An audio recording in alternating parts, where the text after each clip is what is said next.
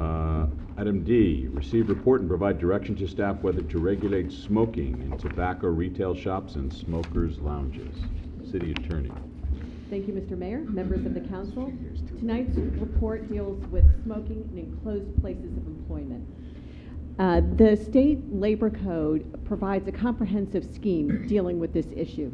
And what it provides is that smoking in enclosed places of employment is prohibited. Uh, The public policy behind this was to create a uniform scheme so that there would be a uniform standard in all cities. Now, despite this um, large and comprehensive prohibition on smoking in enclosed places of employment, dealing with secondhand smoke, and trying to limit the amount of exposure that employees have to that, there are 14 exemptions within the state statute. And uh, specifically, the state provides cities with authority to ban or to regulate smoking in those other 14 areas. But we're only dealing with one of them tonight. I do have that list if you want to know what the whole 14 are. And the specific one is um, a question that staff wanted to bring to you about uh, smoking in tobacco retailer shops and smokers' lounges. So a specific exemption where smoking is allowed, despite the general prohibition, is smoking in tobacco retailer operations and associated smokers' lounges. Now, cities may choose to regulate those differently or ban them, as I indicated. And out of 12 cities in San Mateo County, about six of them prohibit it and six of them allow it. Now, we'll mention to you that these ordinances were adopted in the 1970s and 80s, so how much they're really followed and regulated, I can't tell you, so- because I do see some inconsistencies between what I see in the law and what I see in practice in several cities in our county. Now, um, currently, San Bruno has no particular regulation dealing with smoking in uh, retailer shops. We do have one chapter that deals with uh, a requirement that tobacco retailers, if they sell cigarettes or similar products at all, uh, get a permit. And this was a, a county uh, requirement that we adopted, I believe, last year, and that's been adopted in all of the cities of the county. But it doesn't deal with smoking per se. Now, there is a new trend um, that you may be seeing out there of smoking in the Bay Area, um, stores that are called uh, hookah bars or hookah stores, which sell a kind of a smoke flavored tobacco, which is smoked in a water pipe, as I understand it. And that's kind of a cool and funky thing that you're seeing in places like San Francisco and along the Bay Area. So there, there is more of a proliferation of that. And you may find um, hookah bars, but also your traditional cigar shop and, and all uh, in different kinds of settings. Sometimes um, this operation occurs in conjunction with a coffee shop or a snack bar or a restaurant um, or a regular kind of bar. Now, there is one in San Bruno that is planning to be located on San Bruno Avenue and which already does have its entitlements. But um, that sort of raised the issue as to what is the city council's comfort level with um, that activity taking place uh, in San Bruno. So whether it's hookah or cigars or cigarettes, um, the city staff is looking for the city's council, city council direction and guidance, whether it is comfortable or not comfortable allowing smoking to occur in smokers' retail shops and associated smokers' lounges. So at this time, I'm happy to answer your, your, your questions. And it looks like you have one, Mr. Mayor. I have a couple Or several. questions Okay. and comments, right. So we are going to have, uh, despite my feelings, a hookah lounge or bar in the city. What will that, that um, proprietor be allowed to do? Well, that's a very good question because, like a lot of things in the law, it's it's not always um, completely clear. I can take you the I can tell you the position that San Bruno has has taken on this and and what issues ki- kind of surround that. So, um, what the law says is that when you have a tobacco uh, retailer shop, um, and a, a smoker's lounge. What, the main purpose of the tobacco shop has to be selling tobacco in order for the exemption to apply under state law that yes, you can have smoking go on in this establishment. So the main purpose, in order to get the exemption, is t- selling tobacco or tobacco-related products. But the law doesn't further define that for us. It doesn't tell us what that really means. Does that mean 100% of the activity has to be selling tobacco and tobacco products? Could you have incidental sales of bags of chips and gum? Could you sell alcohol? Well, the legal authority is all over the place on that. While the California Legislative Counsel, on the one hand, has said, no, it has to be 100% selling only tobacco products, or you don't apply, or, or you don't um, get the benefit of the exemption that allows smoking to occur. On the exact opposite hand from that is a case that occurred in Pasadena, where a judge found that in a cigar bar, it was okay for there to be uh, the selling of alcohol going on because that was only incidental to the major activity of selling the tobacco product. Uh, the AB, uh, ABC, which regulates alcohol, has indicated that, hey, we'll, we'll license um, where 10% of the activity is selling alcohol, 90% of it is selling tobacco. So what that means is the landscape there is confused. And in the face of confusion, the interpretation that I have placed on it and provided to our staff is that no other activity can currently uh, occur other than the, the um, selling of the tobacco product or the smoking of the tobacco product, that they can't sell anything else. Now, we'll tell you that uh, a question has been posed to our uh, state attorney general, and the attorney general may come down with an opinion at any time in the next couple of months that may be in- instructive. So, if you do end up um, directing me to um, bring back any type of an ordinance that limits, you know, this activity in any way, one of the things that you might want to consider if you do allow, uh, if you do allow smoking uh, to some degree, is whether you want to allow any other activities to occur or not, because I think you probably can regulate So that. it's your understanding that this new lounge that's going to go in in San Mateo Avenue will be allowed to sell tobacco products and Nothing use else. them on the premises, but that's it? Correct. Okay. Under the current construct of our law. That Okay. could- But that could change absent um, guidance from the city council. All right. I, yeah, it, I just have to say this. I mean, I, I get asked, as, as mayor and previous mayors have been asked, to sign proclamations supporting the American Lung Association, the American Heart Association, the American Cancer Society, and we are, whether you like it or not, encouraging uh, the, just the opposite here. So I would like to, in the future, and uh, if the council agrees, maybe uh, have a small study session. It wouldn't take very long to see what we can do to actually ban these facilities in our city.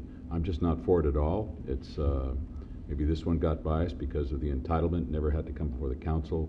Um, But I, I think we need a little more study on this because I just don't think it's the right thing to do. Uh, Okay. S- um, So there are two possible options. I mean, I realize there may be other uh, questions or comments from city council members.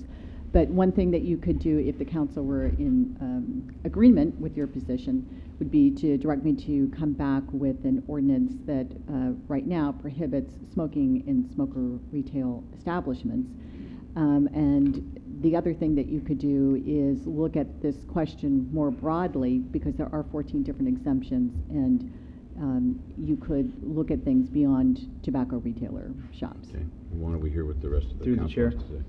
Uh, I would assume then that this facility, you would have to be 18 years or older to enter into it, because if it is a tobacco uh, selling and/or using, and you must be 18, no one under the age of 18 should be permitted within the facility. Is that a fair statement? Uh, You're right, as- long as that is the only activity. So here's one of the kind of um, problem areas.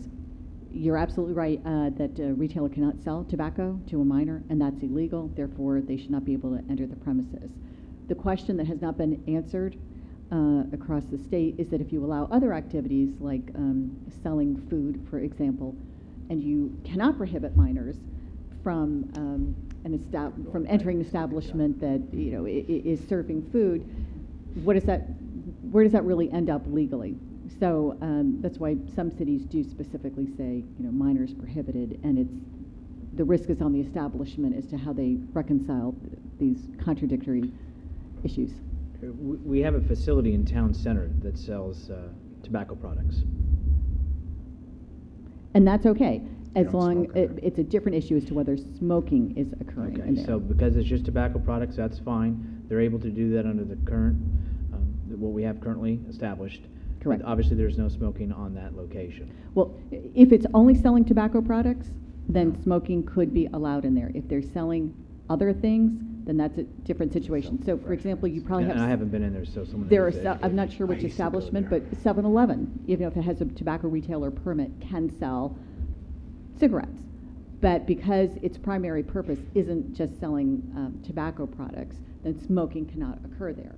If its primary purpose is to sell tobacco, and that's its real function, then smoking can go on there currently under state law. Okay, so in this particular one that we're speaking of right now, Having fun? my understanding listening to you tonight is that its sole primary purpose, selling and/or smoking on the premises, period. Is that accurate or? am I- that's what this establishment does. I I need to get a little clarification from you. Basically just sells tobacco products and that's it. That's what I'm understanding from hearing from you. Am I mi- misunderstanding or? I, I wasn't sure if you were talking about a, a, a, a real establishment or a theoretical. Talking about the one that you're talking about that already has some entitlements on San Bernardino Avenue. Okay, so that, that establishment, its primary purpose is to sell, um, a, a tobacco-related product. Therefore, currently, under law, smoking can occur there. Okay, and so therefore, no minor would be allowed in that facility, Correct. is that correct? Yep, you are Okay. right. And, and how, how do we, is it just the same thing as uh, when they have somebody go to try to buy up cigarettes or alcohol? That's how they're tested then, to see that they're abiding by the, the law?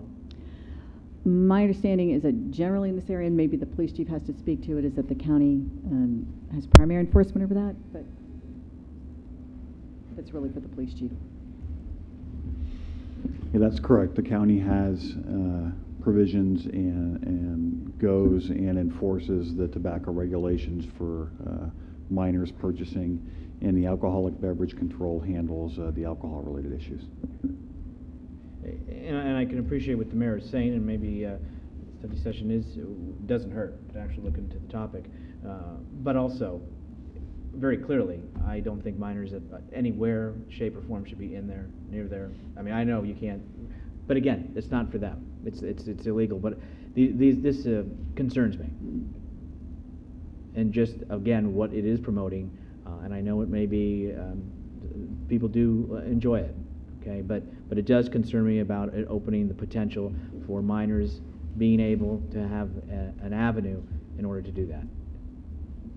A- And, Mr. Medina, just uh, so it's clear, um, that concern would be even more warranted if the AG comes out with an opinion that says, hey, you could do other incidental things, like sell, you know, chips and gum, and that's okay.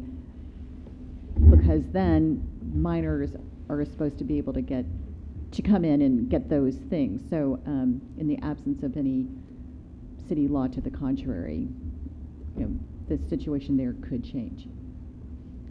Mr. Ibarra? Funny, funny you say that, but, you know, there, there are bars that say we cannot, you know, no one under twenty-one come in, but there are bars that sell food, there are Right. bars that sell. It's kind of Yeah. similar, Yeah. because, you know, you can take your kids to an establishment that's a bar that also sells food, and they can go to the food part of it. They can't be sitting up at the bar. I, I read the staff wine. report, you know, with interest, and, uh, you know, and you explained it clearly as far as, you know, this ten percent rule and how the various agencies, federal, county, and, you know, local agencies now are, are gonna have to go through a rule book to see who's in compliance. And I've seen establishments where they've introduced the pipes. And even though they may not be smoking indoors, I didn't witness them smoking indoors, they're outside. And so what I don't want to do, and, you know, and I can be, I mean, I don't want to go overboard because I'm a reformed smoker and everything, but hmm. I can appreciate what the mayor is saying, is that, do we want this type of establishment, you know, that possibly may, you know, grow in, in, you know, in, in this community? And my answer to that would be no. And that, how do you control it? And it just seems like there's just going to be so many things that may not be able to be enforced. So, be interesting. Mr. Chair? Michael? Um, I have a question. Uh, I noticed that in your, in your list, there are three uh, cities in the county that specifically prohibit smoking in retail stores. Now, being that this is a lounge, would that be considered different from a retail store in the sense that the purpose of this business is to allow people to come in and smoke? Um, Would we somehow open ourselves up to uh, a lawsuit in terms of that we may actually be preventing them from operating in the way that they intended? Well, um, how the lounge comes into existence is if there is a retail shop where it has the primary purpose of selling tobacco products, then it can have a smoker's lounge associated with it, and that is required to either be in the um, retail establishment or attached to it. Um, So if you prohibit the smoking in the retail shop, you effectively um, prohibit a lounge. And if you don't, then both, both can potentially exist. Okay. So what was your suggestion about the ordinance? Well, uh, there are two ways you could go here. You could have a study session and look at all, only one exemption, the tobacco retailer issue, or you could look at all 14. And um, you could do that, uh, or, and/or you could direct me to come back with an ordinance that deals with only, uh, for the moment, the single issue while you're studying the other 14, and that is uh, prohibiting smoking in tobacco retailer operations. Right, but that would, would exclude the one that's already been approved. Correct. Okay, all right. I would, I would like the uh, city attorney to bring back that ordinance, but I'd like the input of the rest of the council. I'm, I'm in agreement. I am. I am as well. Me too. Bring it back. Okay, so I'll bring that back. On the single issue, Right. Um, is it the council's desire to further study smoking and look at the other exemptions? Or would you like to just confine it to the, the single issue? Through the If- chair. if- if- Oh. Irene? I was just going to say, would it be um, better for us if we wait for the Attorney General's findings and then go from there? Should we? No, or I, does I it- doesn't wouldn't, I wouldn't necessarily wait on that. And you could really do two things. You could go ahead and enact the ordinance that prohibits it in the smoking Oh, yeah, in the retailer part. shop. And then I could bring back a report that provides to you uh, what the, a list of the other 14 areas, and you could consider whether you wanted to look at that in a study session or, or not, whether those were of concern So to if I suggested I wanted a prohibition for these types of facilities in the future, what would that take? On, I'm sorry, on the other 14? On, on the, the types of facilities that, Yeah, I mean, I, if you like, I can give you a list right now so you can have an idea of what, if that's something you're even interested in, the other 14 exemptions or areas. no, if, if I said I want to ban these facilities, Yes. what would that It's- take? Smoking in those facilities as opposed to the facilities. Then it would be the same thing, it would be an ordinance that says uh, essentially you cannot smoke in these particular facilities. Just That ban be- the facilities completely. Well, You can't ban the facilities. so you cannot, for example, ban uh, a tobacco shop, just Mhm. like you can't ban um, a store that sells alcohol, Mhm. because then you're running afoul of the Commerce Clause and the Constitution. So you can't prohibit the product and the sale of those products currently. What you can prohibit is The the use of activity of smoking in those facilities. And that's the ordinance you would bring back? Correct. Okay. Uh, So there must be an error in your list, because it says that Millbrae prohibits tobacco retail stores. There, there is, and I, I, um, I apologize for that, and I noticed another typo as well. I did send Oh, out a. I did read that email, but, Yeah, okay. an email just saying that, that it was the smoking in the retail shop, so I apologize for that confusion. Okay. Okay, so you have your direction? I d- uh, I do. Uh, So I will bring back the retail shop smoking ordinance, and then do you want a separate report on the 14 other facilities as well? Yeah. Might as Or, well. or not? Yeah, we'll look at them. Yes. Yeah. Okay, Okay. then I will do that. Just in the interest of being well-informed. Okay. All right, thank you. Never